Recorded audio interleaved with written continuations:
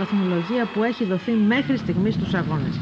Και από την Τσάσινα σειρά έχει να δούμε την ε, άλλη σπουδαία αθλήτρια από την ε, Ουκρανία, την Άννα Μπεσόνοβα. Ήδη έχει πάρει στους τελικούς ε, δύο μετάλλια, αργυρό στην μπάλα με 16.350 και χάλκινος στο σχοινάκι με 16.175. Η Ουκρανία στον ομαδικό αγώνα πήρε το αργυρό μετάλλιο με 126,500 βαθμούς. Η Μπεσόνοβα πέρασε στον τελικό των κορίνων με την τέταρτη επίδοση, βαθμολογήθηκε με 16.050.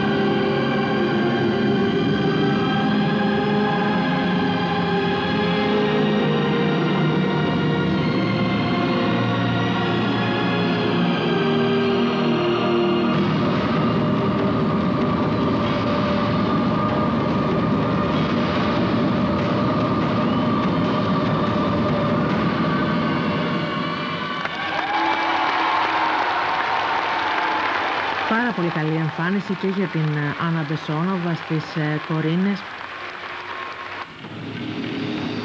Χαρακτηριστικά αποσπάσματα του προγράμματος που μόλις ε, μας ε, παρουσίασε σε αυτό τον τελικό η Χάλκινη Ολυμπιονίκης της Αθήνας.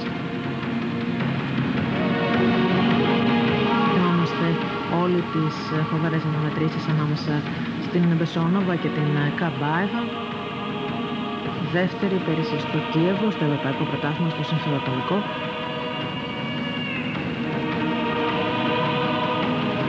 Δεύτερη και στο Παγκόσμιο Πρωτάθλημα της ε, Βουδαπέστης.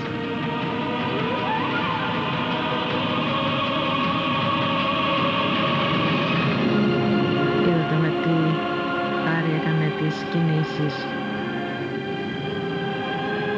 και τους Μήλους. Ε, η Μπεσόνοβα βαθμολογείται με 16-2,75, είναι στην ε, τρίτη θέση.